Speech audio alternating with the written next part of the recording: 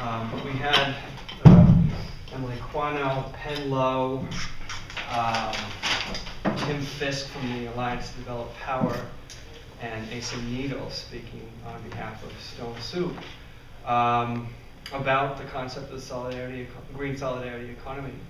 And um, I think that the panel did a fabulous job of really framing um, how you build a solidarity economy in relation to practices of conversation and community building. And that, that to me is one of the things that came out of the session is that, you know, if the economy is not simply a force that's largely out of our control, um, then, then in many ways, the conversations that we have around the economy we'd like to have with others plays a huge and fundamental role in shaping the kind of economy that we'll get.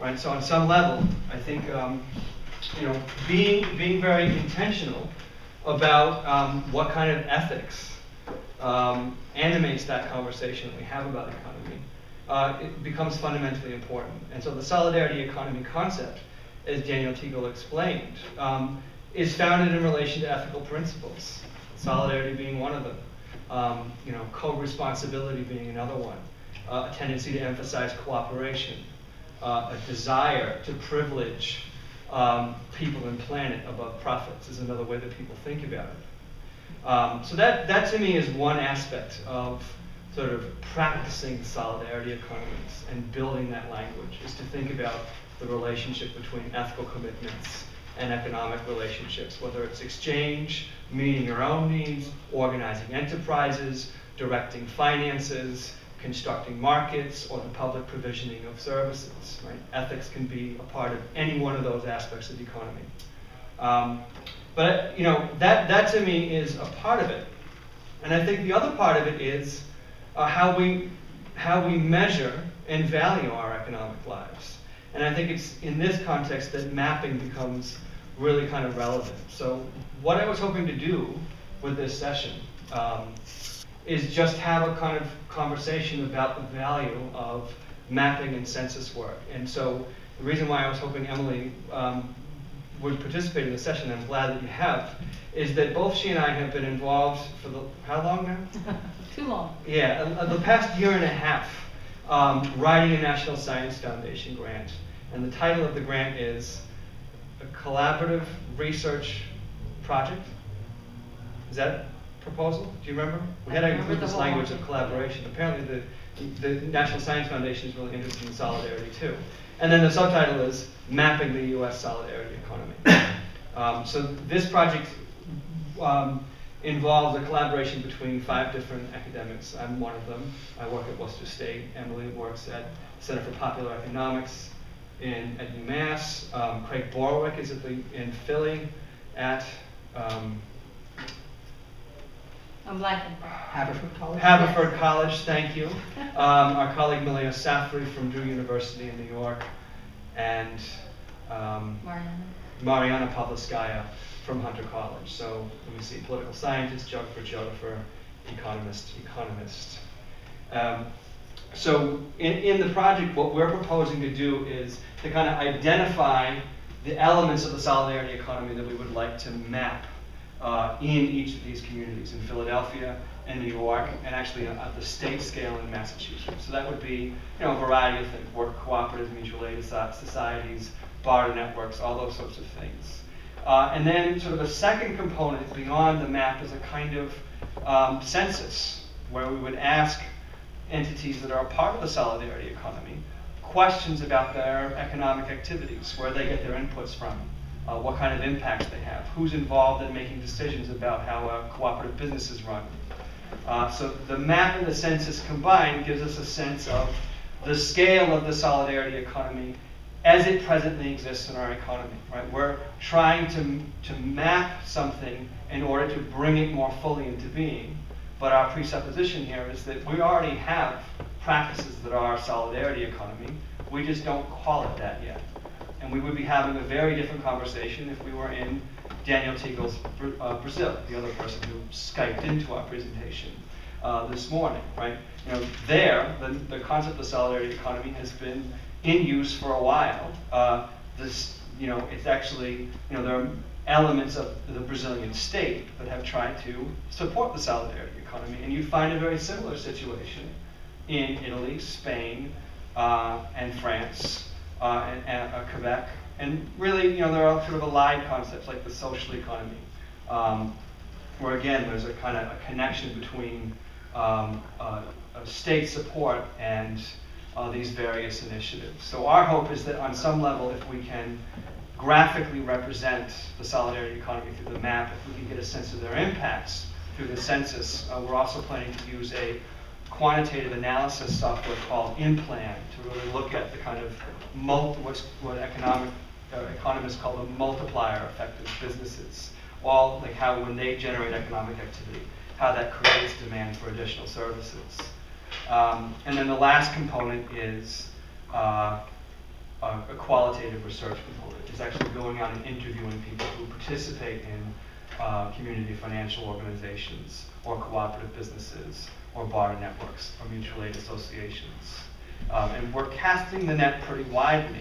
So the question I'd, I'd, like us all to consider together, and I don't, you know, I'm not really invested in this conversation going on forever, but I, I think it's one worth having, um, is what could we do with that kind of information? How could it really help uh, build a solidarity economy? And in, in particular, um, you know, maybe there's a connection there uh, between this effort, whether it gets funded or not by the National Science Foundation, uh, and a group like SAGE. Right? So SAGE has been going now since 2007. It was originally called the Worcester Green Jobs Coalition, but basically the idea was it was an organization of organizations, a network of, um, of, of um, community groups and social enterprises and cooperatives that had a shared vision about a, um, a green economy in Worcester that was also inclusive. You know, and as some of the speakers spoke this morning, you know, mentioned, um, that green economy idea kind of got picked up by the Obama administration, but it, it sort of died on the vine. I think there's all kinds of reasons for that. Um,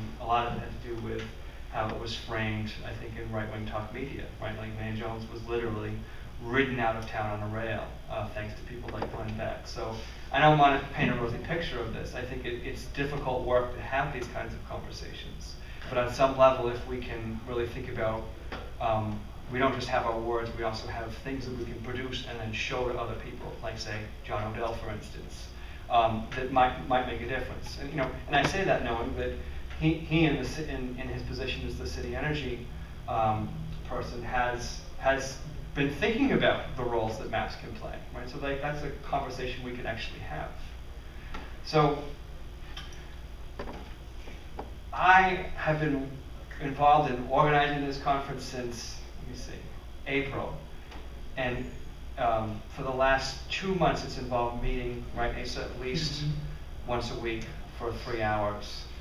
And, and I think one of the consequences is that I'm completely out of energy. And beyond, beyond making the statement and saying, hey, we have this project, and we'd like for people to be involved with it, I'm not sure what else to say. So the, so the question, so the question now is, um, what kind of useful conversation can we have? Just going to let that. How do you see a role for other people outside those who are written into the grant? I have my answer. Emily, do you have one? Do you want me to start? Sure. Um, so at this, so so here's what we have developed so far. Um, we have a survey which I um, was going to show you with the PowerPoint uh, thing. Yeah, it's in draft form. It's going to get piloted this coming week in Philadelphia. There's a, a pilot project. So they're going to test out the survey. It's online through Lime, Lime Survey, I think it's called. Um, they're just testing it with like five groups. I think they're co-ops. Um, they're going to interview all those folks um, and see what the problems are and then they're going to go back, hopefully work out the kinks, and then we'll be ready to go. Um, so I am not sure what the timeline of that is. So eventually we'll have a survey that um, if if folks wanted to coordinate with a national effort, then you know the more the merrier, right? We just need to make sure that we're coordinated. But even before that, just compiling a list of solidarity economy practices and enterprises would be great So we, will approach, um, you know, on a national level, we'll, we'll approach various federations, like of worker co-ops, of, uh, some producer co-ops, of, uh, community development credit unions, et cetera. But on a local level, there's a lot of things that folks know, uh, that, that that we would have no way of knowing. So just getting the, the most basic information, the name of the uh, entity, who the contact, the address, the phone number, what they do. And we're, we're, we will set up a, probably like a Google Doc, where if you wanna help just compile those potential survey recipients, um, you know, you can just, we can get you onto the Google Doc and you can add the information. That's a really easy thing. Um, the other thing, is, I don't, I don't remember, do you have a Worcester map already?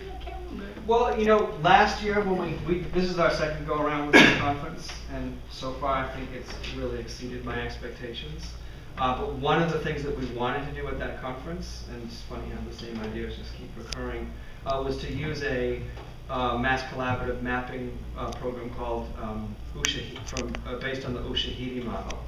Um, and that's sort of a, you know, a crowdsourced map where people can um, basically self-identify on the map and put up data points. And, you know, some of the mapping initiatives elsewhere in the world of solidarity economies involve self-reporting. Um, others go through a filter. And I, I forget which countries. I think Brazil is more volunteer, right? Am I right about that, Emily? And, and the Italian map is sort of more like um, who you know in the network is what allows You you. mean volunteer in terms of how you. Like you just, you self-reported.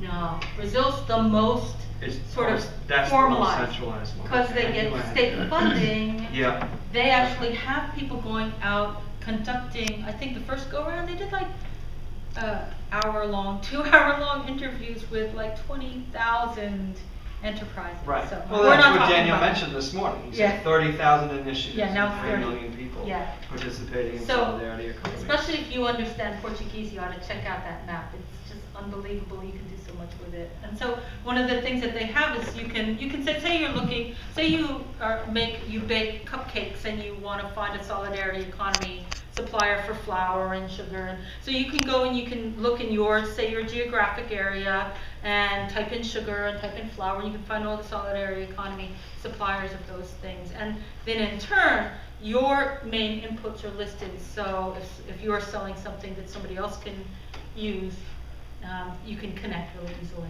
Yeah it's amazing. Yeah, so I mean, they made the choice in their map to limit like the top three inputs that your uh, business needs, for instance. But again, the, the, you know, the purpose there is to think, okay, here's somebody who has a large scale demand for something that I'm producing, so it facilitates in-network exchange. And I think that's part of the power of map plus census. It equals a different way of constructing markets. So I know John has his hand up and you had your hand up first, and I don't, I guess I'm, since I'm sitting here, I guess I'm nominated as facilitator too. We could be less formal than that.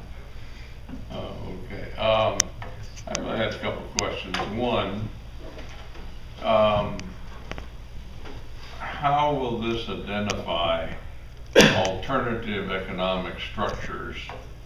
And particularly the ones that have had enough time to quote, be successful? Um, uh, some of them, it'll be too early to say whether they're successful or not.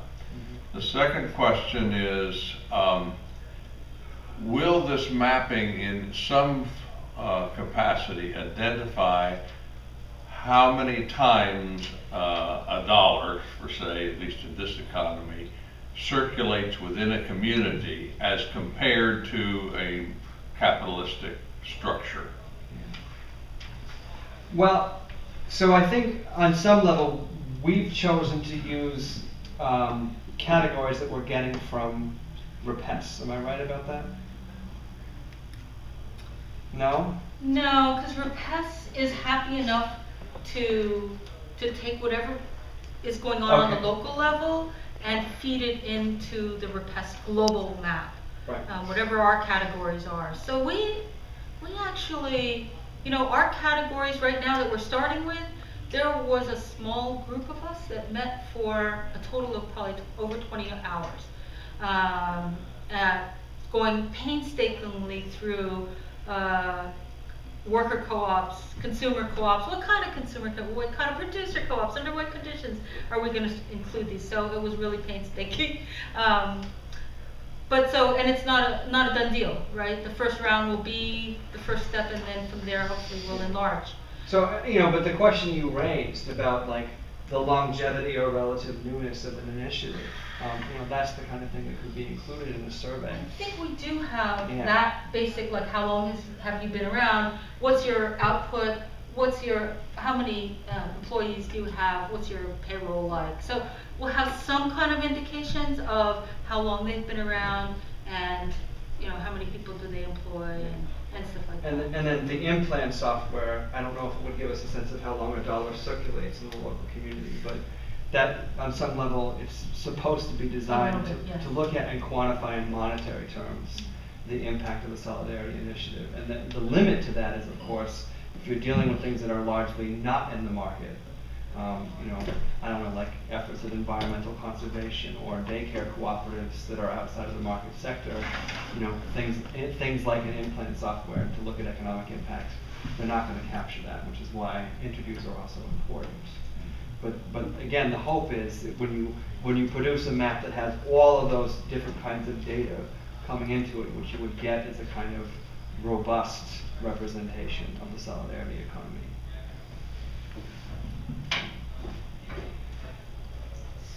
I just wanna keep coming back to like why that would, why that might matter, cause I, I have trouble answering that question myself. I, like, I, I- that's why I wanted to organize this session, because, like, okay, now we'll know. And John, you had your hand up, and then, and then we can go to Steve. Um, first, I, I, along with the other uh, things that Emily had mentioned about the inputs and outputs of enterprises within solidarity economy, one thing that I thought was really interesting in the census, I helped write the online version of it, not actually write the questions, but just get it on the internet, um, was asking about waste products and waste streams, and seeing if uh, you can keep that internal to uh, Solidarity Economy Network as well um, which I think brings in a nice element of sustainability and, and more systemic thinking as well. Um, I'm wondering if uh, having having the identifying criteria for groups instead of groups identifying criteria collectively on their own, if that becomes too exclusive and, and limits what could or could not be considered solidarity economy. Um, I, I, I've done a lot of reading on it recently, and, and the idea of um, self-reporting to the solidarity economy large group uh, or community of solidarity economy, and then the level of their acceptance of you as an enterprise, determining the relative strength of your solidaritous activity, I guess. Um, I, I think that is significantly harder to map with, but in terms of inclusion criteria, I think it makes more sense. Um, but the value of a map, the way that I see it, is first to show where these things are and concentrations of where these things are, so you can see geographically, like, is this serving, you know, primarily uh, upper income, predominantly white neighborhoods, or is this serving people in uh, working class communities of color, or like wh- where is this? Where does it exist? First of all, who does it serve? Second of all, um, I struggle around measuring the actual economic impact of it because it's still putting things in dollar terms and, and in terms of, of the dominant language. When I think part of the point of solidarity economy is to move past the dominant language and move past the dominant framing. Um, but that said, you know, if you can show that money starting at point A in a solidarity economy supply chain results in this much money or this many jobs or this much whatever else at the end of that supply chain, um, you can demonstrate like a, a significant amount of, of strength, ideally, um, that already exists within the solidarity economy. Um, instead of having to justify it a little bit more, you just say, look, it's there and it's, it's, it can do this. Two, two things, I just realized, is there a scribe in the room? yes. Oh, there is, okay. And then just a process point, because like I, I really, um, in the spirit of solidarity, uh, since this is mostly conversation and none of my co- none of my technology is cooperating, I had apps. I had the census, so we could actually look at the questions. I could pass around my computer. But do you think we could real quickly circle the room? Yeah. Like, why not? Hop in. Uh, We also need to ask some people to join us in our monthly meetings for their perspectives that are part of the solidarity economy. Um, So that's, that's number one. Um, We're, we're- I'm interested in the research design because when there has been a state commission to study public banks and they said, we don't need one on the North Dakota model because we have all these quasi-public agencies that deal with infrastructure. And CEDAC to help set up daycare centers and all these things. But we want to go around and find out, and these, sol- the Solidarity Network are the people that may have applied for funding that didn't get it. We need a list of dollar grants asked for, communities from which they were asked for, whether they're low-income communities, where they're located geographically, um, so that we can say, look, if we did have a public banking, you're saying everything's fun, taken care of, but this is evidence that it's not taken care of. Um, so we need that. Um, Steve, could you also just say a little bit more about the North Dakota, North Dakota Oh, Bank? okay. Just Well- that, that bit that you shared with me on the way back from lunch about how they do indirect lending. it's a and what that partnership, yeah, well, that's what we hope the Massachusetts model is gonna be, it'll be a partnership bank that won't make loans directly, it will work through local community banks and CDFIs, and perhaps CDCs to some extent, some hmm. CDCs. Credit? And possibly, they're, they're limited now, what, to eighteen percent that they can make commercial loans of their I'm not aware. yeah, they do have a limit, it used to be twelve percent, I don't know what it is. But we want a partnership with these hmm. organizations. We don't see using the, the state money, whether it's income tax money that's being held, whether it's pension fund money, or money raised through state bonds. Uh, We don't see that, um, that might, somebody would come to them and say, we want to start this co-op. We need three million dollars, and the community bank's only, only has enough, it's capitalized to only make a one million dollar loan. But it could say to us, instead of, if it goes to Bank of America and it says, can you back us up? Bank of America says, sure, and takes over the business out from underneath them. But the Bank of North Dakota says to the, the local private bank, uh, or, you know, the, or, or um, credit union or CDFI, yeah, we'll, we'll back you up. You do the loan, you service it, they're your customer. We've done our due diligence, we think this is a good group to support. You know, it meets our criteria as an independent agency. Our board has approved this, we'll back you up. The state will stand behind you. So, um, that's the way, uh, most public banks are set up to function, not as a direct banking competition with small banks or CDFIs. But, you know, it seems to me you're actually giving us an answer to the second question that we're supposed to be considering in relation to all sessions here, right?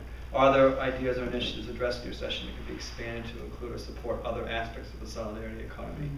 So I don't even know if we really thought about that, that the map could actually be useful for complementary or different, I don't want to say alternative, financial institutions to direct investment capital. Like, so for instance, and I'm just, just playing here, right? Yeah. I, I was having a conversation with that woman Lowe, who's in Boston, I think that's her name. The sh- woman with the short spiky blonde hair who was on our previous session. Lori, sorry. Lori, Lori, yeah. Right, and, um, uh, so she was talking about starting a recycling cooperative, and I was telling her about, um, METEC, which is a, a big, in- uh, waste, waste reclamation plant in, uh, just down on one forty-six, actually kind of down the street from Walmart. Um, and it's, you know, a conventional capitalist enterprise so far as I know. Um, you know, they're employing, I don't know, how many people, when we were there, how many people did you say worked there? Do you remember? Mm, um, I don't know. I mean, It looked like maybe- twenty or thirty people Yeah, at least, although And the guy who, with- who was leading us kept saying this is a very small margin business. Yeah, Hmm. right, so, you know, like we, we have a, we have the emergence of a reclamation economy here, and I guess I was just picking up on something that Jonathan was saying. And I, I wonder what other businesses could be started that would help MeTech to do what it's doing, or maybe to transform the way that it does business. And so maybe that connection here between a census map and then thinking about where we would like to see investment capital flows, that's, that's a, that is a practice of solidarity. Um, I have a question stemming off of that. Um, beyond just identifying the different inputs and outputs that each enterprise on the map uh, may have or need, um, is there any effort being done that anyone's aware of to actually create the supply chains and like foster the business relationships directly uh, between different organizations, or is it mostly like give the information, let things play out as they may? I mean, the example that people give of like cross-sectoral development of a social economy is, is what has happened in Quebec. Um, and I, I don't, I guess that has to do with their organizational history. Um, there's a woman named Marguerite Mendell who's written a good bit about that. But that's as much as I can say about it. I don't know, I mean, I don't know if we In thought the about United that. States, I don't think that there's a lot um, going on. Um, But there is a way in which, you know, if, uh, if you have a business that is a solidarity, eco- say, a work co-op, um, and they're looking for inputs, I mean, the inputs are gonna be specific to that particular business, right? So it's a, I mean, by providing the information about who are the potential suppliers, is you're halfway there, and beyond that, you're gonna, they're gonna have to figure out like, at what price, you know, under what conditions, you know, all those things, those are nitty gritty things that I don't know that you can really manage from, from afar, right, those are business decisions. I guess I'm trying to think about it in terms of like a business network, like, or an association of like small businesses or something like that, um, where there are a set of shared resources and, and whatever, but also within the solidarity evaluation system. I I mean, so that could work both ways, right? Like, so even, even something as pedestrian as BALLE, businesses alive for a local living economy, like, that could be a resource for us or for anyone who wants to be involved in the mapping projects, and recruitment was sort of the ulterior motive for this, by the way. Um, you know, that you could, you could use their, I guess, database to really think about who might be important to include on the map. Um, and maybe in the process of doing it, uh, you know, even if it's just informally, you could say, you know, these connections should get made, right? That's, that's that kind of conversational model that we've been discussing.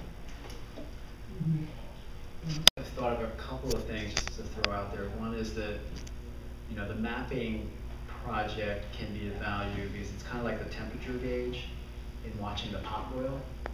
You know, so it's like, if there's this idea that solidarity economy is happening, but we can't see it yet, or that we think it can go to a scale where it would, uh, in some more substantive way, transform or challenge the current, uh, what we have, then you might, you know, it's not necessarily linear, and the map helps, you know, so it's like, you know, you don't know that a pot's gonna boil until you start seeing the bubbles, but if you watch the temperature gauge goes up, that gives you a sense of, of progress. Um, but then I think, so, so to me, that's a bigger scale, like, uh, you know, you're talking about a big map, or, or maybe you can think about it in regions too. Um, and then I want, then I think about the other way around, which is that if you let people self-identify, it could be a real movement consciousness building tool, where just by asking yourself the question, is what I'm doing solidarity economy? and that in itself is a really, right, valuable, I mean, you can engage somebody by saying, we're doing this mapping thing, are you a part of it? If So you- that identification process gets people to go through, like, Yeah. Hmm, are we doing this, that, or the other thing, and, and maybe we're, we're doing almost all of it, and we just had to push ourselves to think about our Yeah. connection to something But, else. but like you said, for that question to get answered, it first has to be asked. And for me, what that ends up raising is like, because I, I think like we've kind of come at this in the researcher mode, right? And then there's that alternative that people think of as crowdsourcing using social media. And so what I, I'm wondering, uh, this is honestly, you know, wondering, like, is there some kind of preliminary work that could get done through that self-identifying, self, self-identifying, social media-driven crowdsourcing that could that could be useful, like immediately for Sage, for Worcester County, you know, and, and again, kind of selfishly for our research project, and then maybe we can pass the information along to someone starting a, say, a public bank. Um, I don't know. I think Um, uh, Judy was, I guess in my facilitator role, Judy's had her hand up for a while, then Asa, then, oh my, and I, Sean. Sean. Yeah. Yeah,